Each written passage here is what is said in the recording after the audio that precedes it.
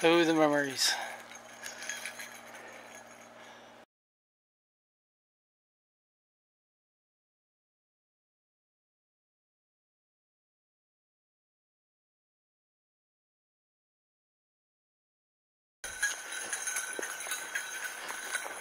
Boy, hey, get back here. Dane, get back here.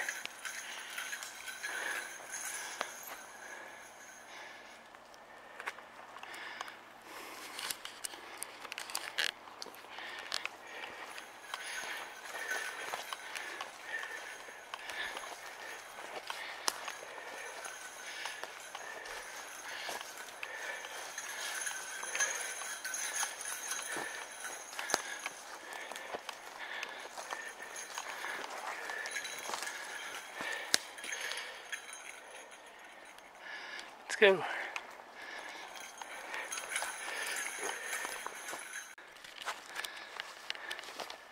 It's a whole lot more fallen trees than we were here before. It's almost a clearing up there.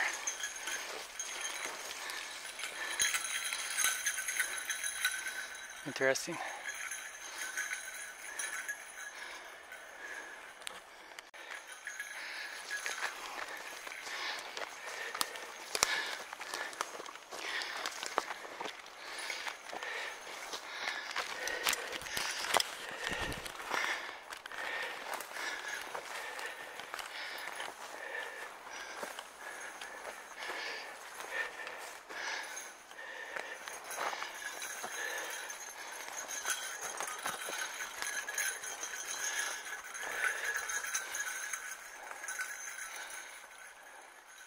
Dane's making a communist.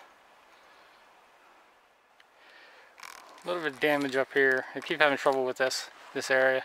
No water got in, but um, I'll fix it when I get back.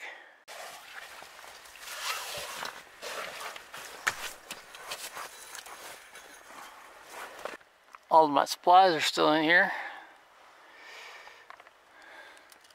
Nothing's been disturbed. Traps are still in there. Packs of candles candle stand, butcher knife, some rope. Eh, nothing's been messed with.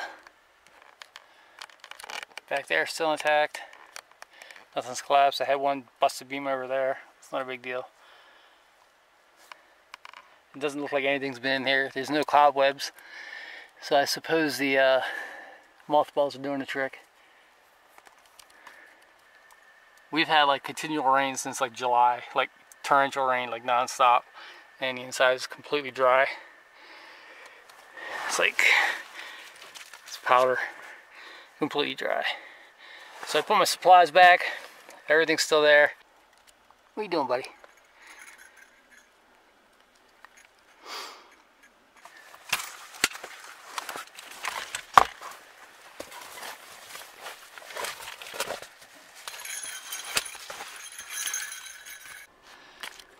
My main food stash is still there. I should probably take it down. Yeah, let's take it down and see what's in it. See how it's doing. It's been up there for what, two years now?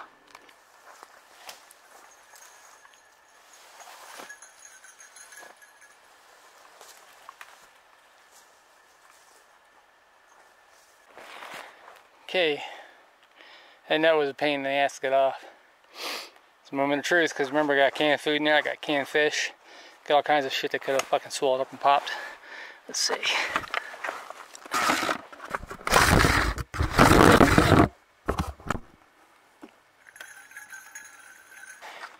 Two years in the wild. It's all completely intact.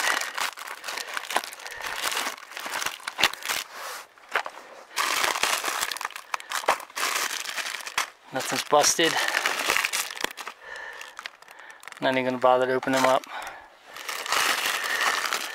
I'm not pulling the rest of this out. There's all kinds of there's all kinds of shit in here. And there you have it. Two years in the wilds. And it's completely fine. What's that? Hmm, you're sniffing it. Maybe I should open up and look, huh? They're fine.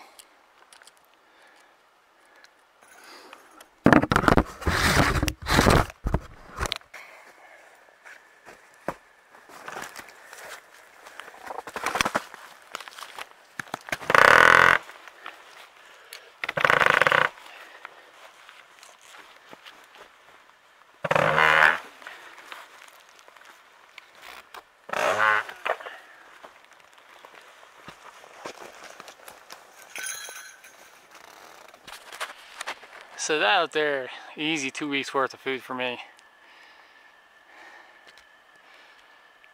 This place is good to go. I might come back and do a little bit more work on it. But it's been like this for what, two years? It's still standing. Had like what, five feet of snow back here last year. Still standing.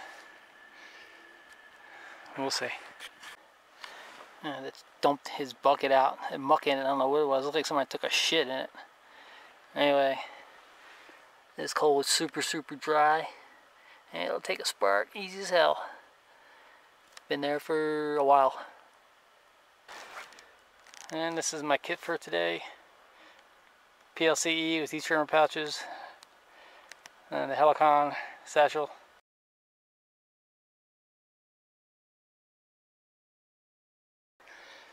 So I used the new Helikon satchel today in conjunction with Web Gear, and I gotta say, amazing. Simply amazing. Twice I actually wondered if I had forgotten it because it was just so light and rode so well on, the, on my back hanging down past my webbing. I literally had to check and see if the strap was there if I hadn't stopped and pissed and took it off and forgot. It rides that well. I'm super pleased with it. A few people complained about it, but I got no complaints thus far. This is about my fourth time using it. This is my first time using it out in the deep wilds. But anyway. Alright, so I've now initiated planting season 2022. Uh, I wanted to come down here and make sure everything was okay. Everything's fine here, food's fine, structure's fine. I don't know how much I'm going to put online because I thoroughly believe that anything we have put online in the survival community is already being digested by various intelligence organizations. You can say it's paranoia, you can say whatever you want to say, but there's definitely something going on. Um, I've always wondered why they let gunners and survivalists stay on YouTube. Well, it's because we're putting all of it out there and we're actually handing them the intelligence that they could otherwise not get.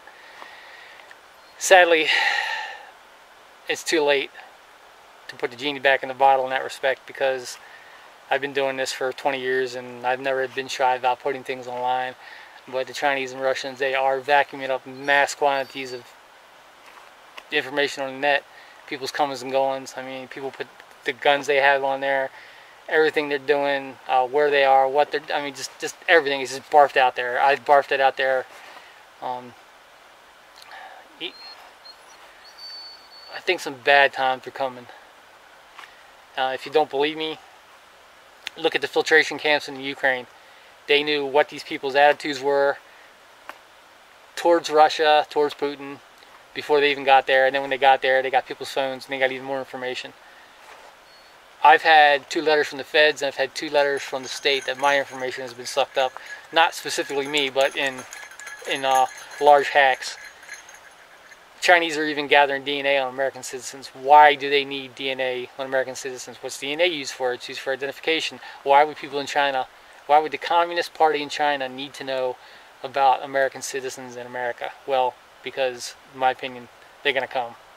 I think this country is going to collapse, and I think certain organizations in this country are going to use Chinese peacekeepers to restore order. Um, if you don't believe me, just Google filtration camps and look what the Russians did. Look at all the information they had before the invasion and once they got there. They just went around gathering people up, and that's it was as simple as that. Anyway, um, I don't know how much I'm going to put out as to planting season 2022, what I'm putting out, where I'm putting it.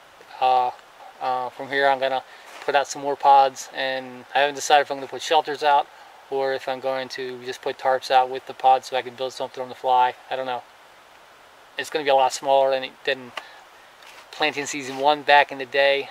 Just stay tuned and we'll see what we can get out of it. Thanks for watching.